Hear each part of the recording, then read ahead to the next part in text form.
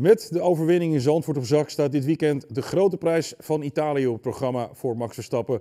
Vorig jaar kwam hij op Monza ook als eerste over de finish. Verslaggever Erik van Haren die is uh, afgereisd naar een druk weekend in Zandvoort. Zit hij alweer in Italië, dat doet die man elke keer maar weer voor ons. Uh, ja, dit kan het recordweekend worden toch, of niet uh, Erik? Ja, zeker. En eigenlijk als je puur naar het circuit kijkt, naar de omstandigheden, er wordt geen regen verwacht, dan, dan, en naar de auto van Red Bull, dan ja, dan ga je eigenlijk op voorhand ervan uit dat het gaat gebeuren. Alleen ja, eh, foutje maken is natuurlijk altijd uh, mogelijk. En Verstappen heeft daar de laatste weken natuurlijk wel wat zinnige dingen over gezegd. Dat hij zegt van, er zijn zo vaak in de historie van de Formule 1 dominante auto's geweest. Alleen het is dus blijkbaar heel moeilijk om zo'n, zoveel races achter elkaar te winnen. Hè. Het is Vettel gelukt in 2013 en nu Verstappen in 2023.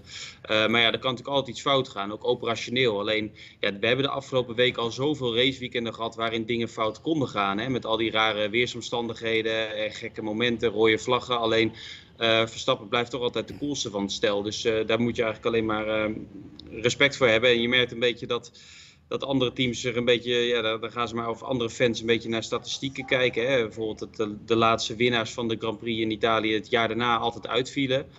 Uh, dus Verstappen won vorig jaar hier voor de eerste keer. Dus dan hopen ze, hè, hopen tussen aanstekens dat die ook weer uitvalt. Alleen ja, als je het daarvan moet hebben op voorhand, dan uh, geeft het al uh, aan hoe precair de situatie is voor de rest van het veld. Ja, wat horen we bij jou op de achtergrond? Is dat Formule 3? Formule 3 denk ik, ja. Formule 3. Ja, nou, en er is ook nog een persconferentie bezig waarin de Ferrari motor wordt uitgelegd en uit elkaar wordt gehaald. Maar dit is natuurlijk veel belangrijker. Um, Perez, de ploeggenoot van Verstappen, die heeft een interview gegeven aan Sky. En die heeft daar eigenlijk wel een klein beetje zijn eigen positie uh, uh, ja, besproken, zeg maar. Ja, hij zei inderdaad eigenlijk voor het eerst dat hij inderdaad uh, dit jaar, de, natuurlijk won die twee races. Hè. In de eerste vier weekenden won hij er twee. Baku en daarvoor in Jeddah. En dat hij zelf ook een beetje zei van, uh, dan ben ik toch een beetje misschien gaan dromen van de wereldtitel. En dat sprak hij toen natuurlijk zelf ook uit. Uh, wat ook niet heel gek is als je er zo dichtbij staat. Alleen, ja, uh, hij zegt natuurlijk ook wel dat de druk toen ook wel is toegenomen. En dat hij daarna gewoon heel veel moeilijke weekenden heeft gehad. Want sindsdien heeft Verstappen ook alles gewonnen. En heeft hij hem helemaal kapot gemaakt eigenlijk. Ehm, het is ook wel interessant te zien hoor. Want ehm, eh, Helmut Marco die ontkende natuurlijk eerst, hè, de grote man bij Red Bull, eh, over dat contractverhaal wat, wat wij hebben gebracht in augustus in de zomerstop. Alleen uh, ja, ja, ik weet eigenlijk 100% zeker dat het klopt. Dat heb ik ook nog even geverifieerd. en dan zie je in één keer in het weekend in Zandvoort dat Helmut Marko wordt gevraagd: zit Perez volgend jaar in de auto bij Red Bull? Want hij heeft gewoon een contract hè, tot einde 2024. En daar gaf hij niet, hij zei in ieder geval niet ja. Hij zei ja, dat moeten we zien, hij moet wel presteren. Dus er zit gewoon een prestatieclausule ook in dat contract. Um, en zijn bonussysteem, hè, dus voor elk WK-punt krijg je ook uh, geld, uh, simpel gezegd. Dat is gewoon naar beneden bijgesteld. Dus uh, ook wat dat betreft wordt de druk natuurlijk opgevoerd op Perez. En hij heeft gewoon een paar goede weekenden nodig, waarin hij gewoon in ieder geval tweede wordt. En dat moet op zo'n baan als hier Monza eigenlijk wel is hij dat aan zijn stand verplicht. Uh, alleen ja, hij laat juist de laatste maanden zien dat het allemaal niet zo makkelijk is. Ook al heb je zo'n goede auto. Ja, helaas Erik. We zijn op Monza, dat is de thuisbaas van Ferrari. Dus die moeten gaan knallen dit weekend. Alhoewel het één drama is met uh, deze Italiaanse trots. Ja, vorige week was Zandvoort natuurlijk ook weer een, uh, een, slecht weekend. En dat was natuurlijk een heel ander circuit dan in Monza. Hè. In Zandvoort rij je met veel vleugel, heb je veel downforce nodig. In Monza juist eigenlijk helemaal niet te rijden met de, met de kleinste vleugel van het jaar. En op die circuits gaat Ferrari vaak wel redelijk. En dan zeg ik wel vaak, want dat is ook niet altijd zo. En bij Red Bull denken ze wel dat Ferrari op voorhand lijkt dat de grootste concurrent te zijn. Alleen uh, ja, je ziet ook bij Ferrari, maar ook bij een team als Mercedes, dat ze in heel veel weekenden nog niet echt de vinger erop kunnen leggen waarom ze nou in één keer snel zijn of waarom het in één keer heel slecht gaat. Dus dat is natuurlijk een heel groot probleem als je inmiddels uh, na de zomerstop zit, uh, dat je daar nog steeds ehm, de vinger nog niet op hebt gelegd. Maar ja, een, een McLaren passeert de laatste weken juist veel stabieler. Maar goed, het gaat normaal gesproken wel om de tweede plek of, of de derde plek bij de individuele coureurs. Maar normaal gesproken hebben die teams ook zoiets van op dit circuit wordt het wel lastig om Red Bull uit te dagen. Dan denk ik dat ze meer meer hoop hebben op Singapore, de race hierna. Ja, het belangrijkste nieuws is natuurlijk ook dat Hamilton en Russell uh, hebben verlengd. Uh, Hamilton wil zelfs nog een achte, achtste kampioenschap. Er moet wel heel snel wat gebeuren aan de auto. Alleen Russell is eigenlijk heel wisselvallig dit seizoen, hè?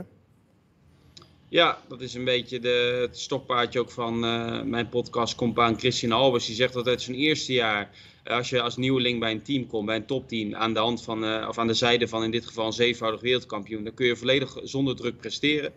Uh, en die auto is ook gewoon heel lastig, hè? wat ik net zei, die, het vliegtuig van hot naar her. En dan zie je dat tweede jaar dat ze het vaak wat moeilijker krijgen. En dat gebeurt nu ook gewoon. En Hamilton presteert eigenlijk een stuk constanter dan Russell. Dus Russell moet echt wel een tandje bij gaan zetten. Alleen ja, hij heeft nu wel de zekerheid dat hij nog uh, zeker twee jaar voor Mercedes rijdt. En uh, datzelfde geldt voor Hamilton. Dus dat brengt natuurlijk ook rust. Hè?